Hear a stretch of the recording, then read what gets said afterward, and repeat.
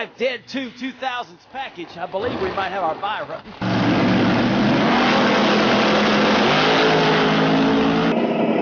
Hey,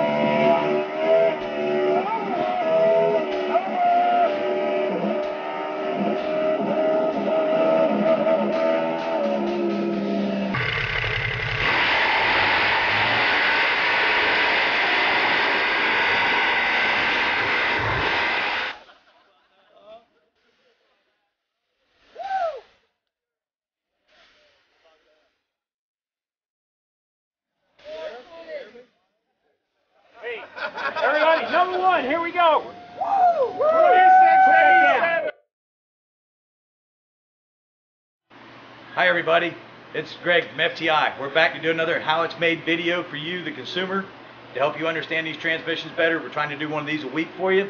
This week we're going to talk about modifying your Powerglide pump, turning it into a race application pump from a factory Powerglide pump.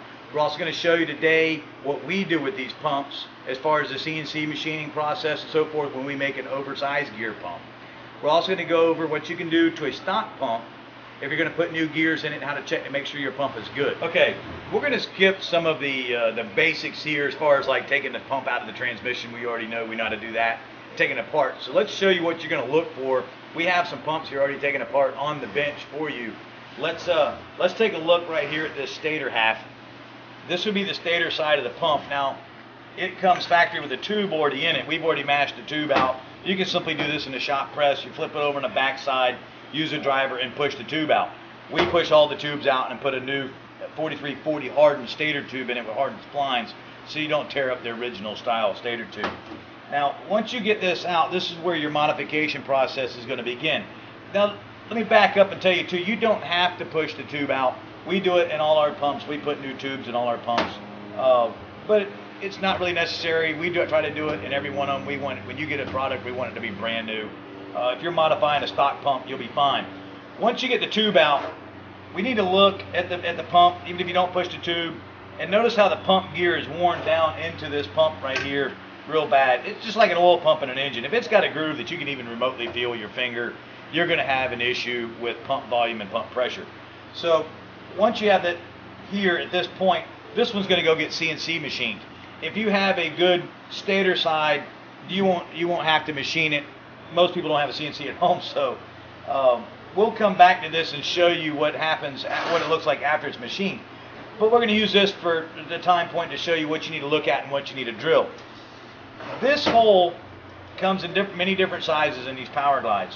We drill every one of them to 250 thousandths. This is to make sure that every pump leaves here exactly the same. This is the intersect hole that goes in and intersects to this this feed hole. Now, what you don't want to do is drill through this hole and drill all the way into the stator tube of the transmission. We use a long quarter inch drill like this. That way, if you do have a tube in here, you can still get down next to the tube. You want to drill this hole to the bottoms here as such. Then you're going to come in through this side hole and intersect. You're going to drill this all the way down and make sure that you intersect into this hole. That ensures that both holes are quarter inch. At the same time, you want to come around the, the two legs, I call these legs, facing you. The hole at 11 o'clock has got to protrude into the stator tube. See the pick coming through? You have to make sure that protrudes into the stator tube. Now, these holes we've seen many different sizes as well. Here we go again. We just take and drill that hole all the way through with a quarter inch drill bit, all the way through to the center of the tube. Now, if you have a tube in it, uh, in the pump, you don't have to drill through the tube. As long as the pick goes through and, and protrudes through the tube, you're fine. If you take one of these pumps that we've already assembled here, I can show you. This pick goes all the way through and drops into the tube, as you can see here, if you can get a close-up on that. That's how you know your tube's installed properly. We'll go ahead and cover that right now. When you install your new tube, you'll notice there's several holes in the bottom of it. You have to position this tube appropriately that the highest hole goes to the 11 o'clock position.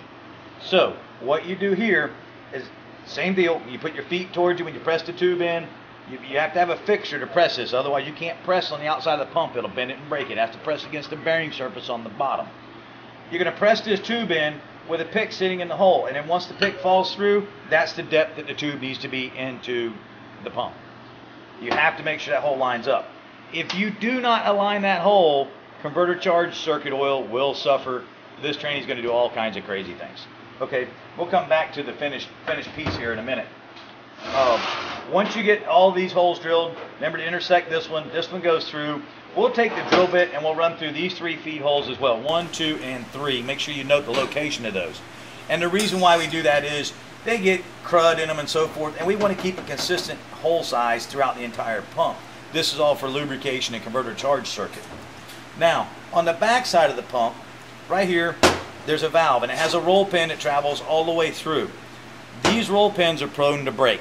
There's been many ways to fix these over time. People have put a larger roll pin, a solid roll pin, uh, and, and I've even seen those break and fall out. We've devised a way of doing it that it can never break. So what I want you to do here is knock that roll pin out. There's going to be a little valve come out. Looks like this. It's called a primer valve. It's going to come out and it's going to have a spring on the back side of it. What we do with them is once we take that out of there, we're going to take a quarter inch pipe tap and we're going to tap this hole. We're going to put that on an impact or, or tap driver and we're going to drive it and tap that hole. Now once that hole's tapped, this pump side is ready to go be machined. In your situation, if you're not machining it, you need to make sure you take a blowgun and blow through every single orifice when you clean it. There's going to be chips from the tap and the drilling inside this pump and trapped behind the stator tube in these holes. So we want to make sure we get all that out there. We don't want to take all the time we put in this pump and feed trash through it. So now this piece is ready to basically go be machined. Okay, one more, a couple more things I really like to show you. You're going to run into different variations of these pumps when you take them apart, and there's some things that need to be addressed with all of them. Uh, this right here is a cooler bypass check valve. So if your cooler plugs, this valve goes down and allows cooler oil to flow through. Many builders block that. Uh, you could do that, that's fine. This one right here has been drilled and tapped. I don't, you can see it if you get a close up right there, and it has a set screw put in it. At that point, you can take the check valve out. Now it, the fluid has to go through the cooler. But if your cooler plugs, you can blow a line off a race car or whatever. Uh, we've done them several different ways. We generally try to leave the cooler bypass valve in it, so if something does happen, a cooler line collapses, a cooler plugs, A, it's not going to blow a line off, and B, you're still going to get lubrication oil back to the transmission. When the fluid leaves the converter, it goes to the cooler at that point. Comes back as returned as lubrication oil. So if the cooler plugs and you don't have the bypass valve, you're not getting your lubrication oil to your thousand dollar planetary in the back of the transmission. So we generally leave the cooler bypass valve. We make sure they're good and clean. Couple things, other things you're going to notice in a pump. Different variations in these pumps. Um, as you can see, this pump right here has got another. We have installed a pipe plug in the back back here. You see this hole's drilled through. Not all these pumps have it drilled through such as this one does not have it. This one does. If this hole's drilled through there, many times they'll have a, a another check valve type system in there, and you'll see flat disc type. You'll see them with a with a ball just like this one. At that point, come through the back side with a punch, knock that ball system out. That's a blow off ball. Install a 9 16 cup plug, Loctite it, and drive it to the bottom of the board. That keeps you from having any, any leaks in your cooler circuit as well. This will affect converter charge oil if you leave that, that check valve there. This is all part of making consistency in your pump. That's going to pretty much wrap up the stator side before we start assembling it. This, this is ready to go and be cleaned at that point. Obviously, this one has to be machined, but your, your stator side will be ready to be machined or cleaned and then, and then assembled back together. Uh, while we're still in the inspection process and getting your pump ready to go, Let's look at a bad pump body just so you can see. Just like an oil pump in your engine, this pump body, the gear has scored both surfaces, here and here, and inside the crescent as well. Once these get scored up, they're no good. They need to be machined and have an oversized gear put in it. As long as all your surfaces here are good, you can replace the gears with an aftermarket set of gears, take the factory garbage out, and put an aftermarket set of gears in this pump body. If it looks like this, it needs to be machined, or you need to grab another pump core to work with. We'll take this pump core, it'll, it'll get cleaned, and it'll go off to the CNC machine and be machined. And I'll bring out the CNC parts here in a minute and show you how we put it back together. So while we're still here on this side, let's assume that you have a good pump body such as this one that is not scored up. As you can see, it's good and clean top and bottom. You can go, okay, I'm just supposed to feel it and figure it out. No, we need to mic these things. Virtually everybody's going to have a feeler gauge at home. We're looking two and a half to four and a half thou. The high limit is six thou on the outside of the gear. So you've received your new set of gears. One side has a bevel on the inside, the other side does not. You want to put your bevel down. Also look, you can look on the outside of the gears as well. Some of them have it on both sides. If it has a bevel on both sides of this gear, it can go either way. The interior gear, not so. The interior gear has to go a certain way. If you put it in backwards, you're going to break the, the, the, the drive, drive, drive drive tangs off of it, and then you're going to be upset that you got a broke pump. Now, we have this gear in here. Let's take our feeler gauge and let's stick it down the outside of that gear. This is a 4 thousandths gauge right here. And as you can see, just like adjusting valve lash, it should have good drag against it. If you go up in size in your feeler gauge, let's say 6 thousandths, and it fits real sloppy, then chances are your pump is just about wore out. See, I can barely get a 6 in there. It's very, very tight. This pump has got one more run in it. If it's over 6 now, don't run the pump body. Now the other thing you need to check is the height of the gear to the pump body itself. We use a depth mic to do this. First of all, you have to make sure your mic is zeroed out.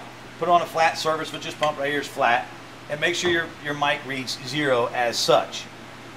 Now you can bring it over here and put it on the gear and see how far in the hole it is. You want the gear between a half a thou and two thou in the hole. This one's right at a half thou. So this is perfect. This pump still can be run. You can put a new set of gears in it and get another another cycle out of this pump before it's having to be machined. Once you do this and make sure that your gears are good, obviously clean your entire pump, install a new bushing in here as you've already installed a new bushing in this one, and put your new seal and we paint it all up. Uh, this would be rerunning a stock type pump in a, in a rebuild situation where you don't need to purchase a new pump. Your pump still has more life in it. So therefore you don't have to buy a new one at that point. Uh, check your gear clearance, check your overall height. Make sure you install this inner gear properly. Let's go over that. There's a step in the gear on this side, right here. There is no step in the gear on this side. The step goes towards the torque converter. That's what helps get the converter in when you put it in the car to get it to drive into the gear. Always got to do that. Make sure it goes towards the front side of the pump. When you assemble this pump, do not put it together dry. Make sure you oil it down real good. Simple transmission fluid's fine. Just oil it up. Put your gears in there. You don't want to crank it dry. If you crank it dry, it's going to mar the gear. Put a little gear oil on the top. Now you're ready to install your stator half. We're going to get back to that in a few minutes. This is this would be a factory rebuild pump with a new set of gears. These parts have already come back from the CNC. I already have pressed my stator tube in to this pump. As you can see, we CNC this surface. We CNC the surface where it sits on the gasket. And you'll also notice that we've cut this surface down here as well. This is where the factory washer would ride on the back of the pump. Whenever you buy a pump from FTI, it's going to come with a new bearing here. That way when the load is against it, it's not against the washer. You have a bearing gets rid of a lot of drag and a lot of heat out of the inside of the unit. The first thing that gets machined is the bearing side and the gasket side. All these parts have got to be parallel to each other. So once it's machined, it goes back over a fixture in the middle, gets gets set on here, clamped, and it machines this side parallel to everything else. That way everything runs true. The stator tube's on the center, it's concentric, and everything is flat and square to each other.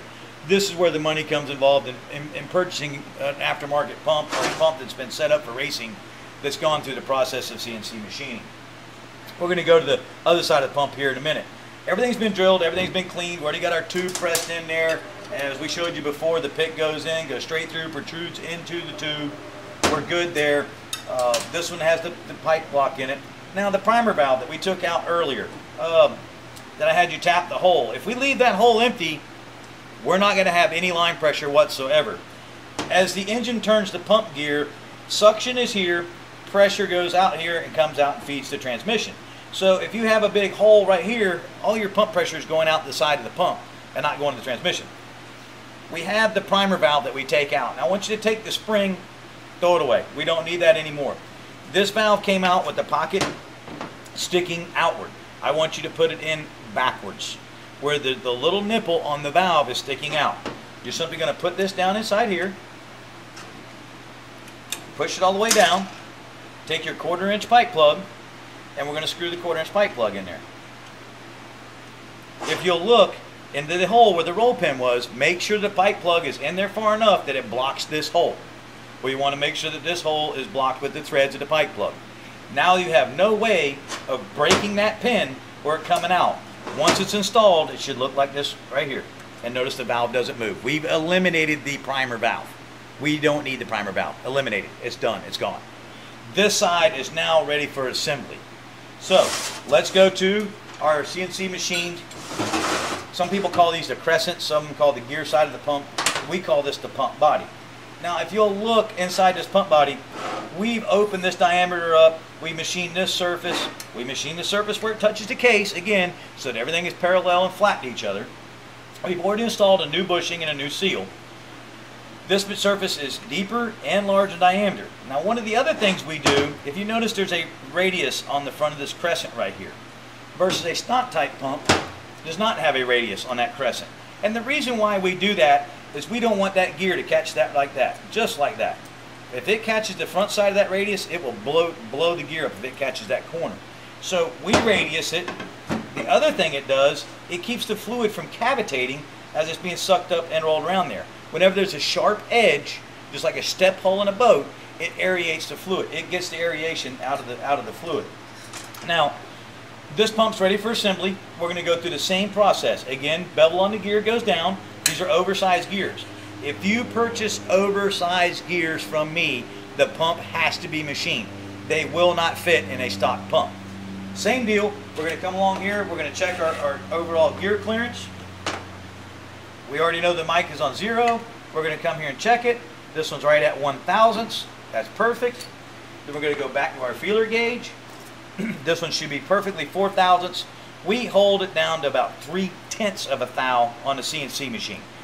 This, this is what makes a quality pump. Put your feeler gauge in it. She's perfect.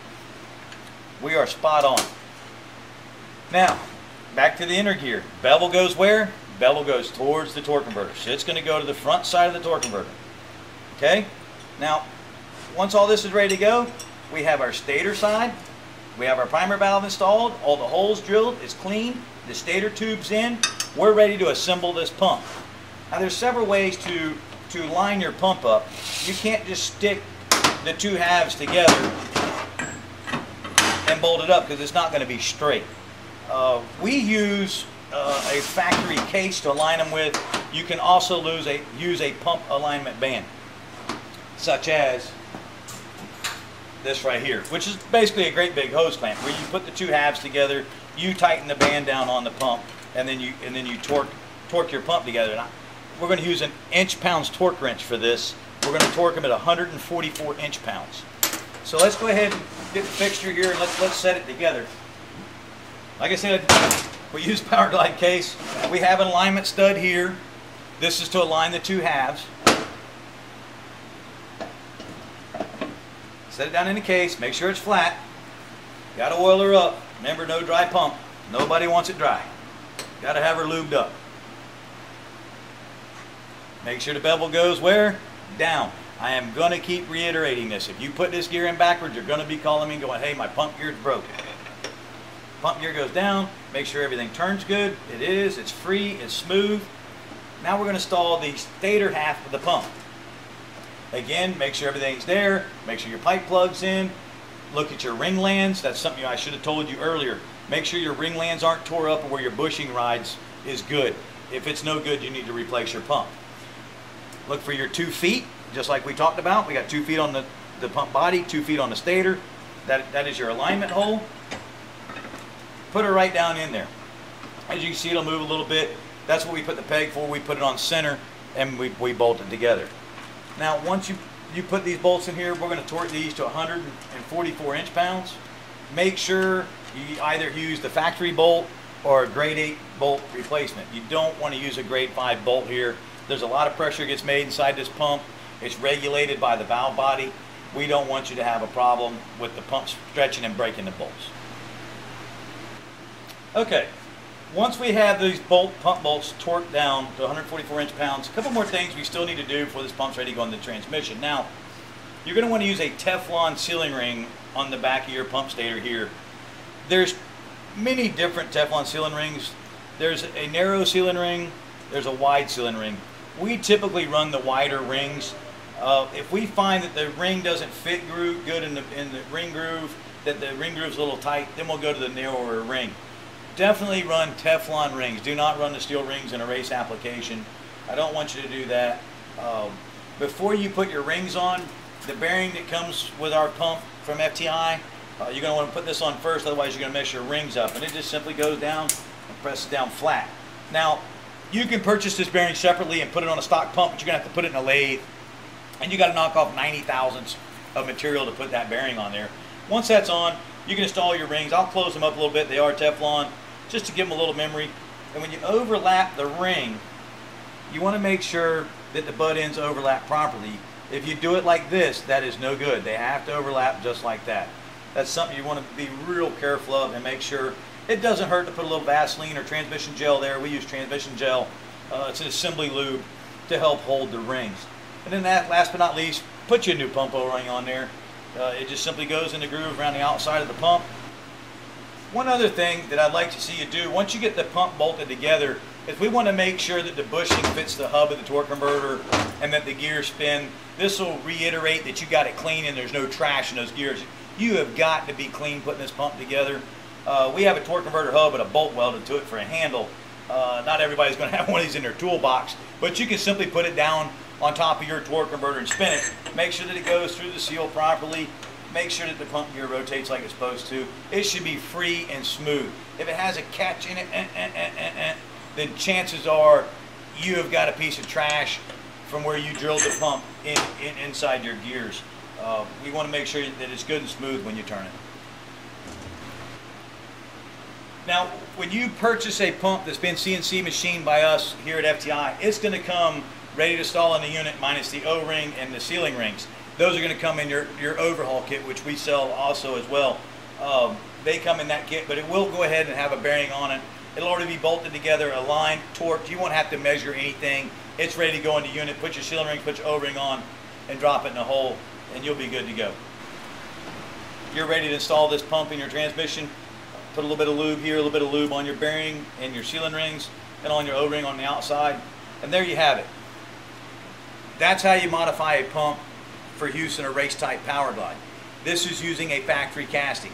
We do offer aftermarket castings, billet pumps, billet aluminum pumps, 7 bolt aftermarket castings with bolt-in stator tubes.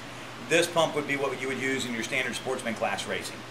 Again, thanks for watching. We'll see you next week.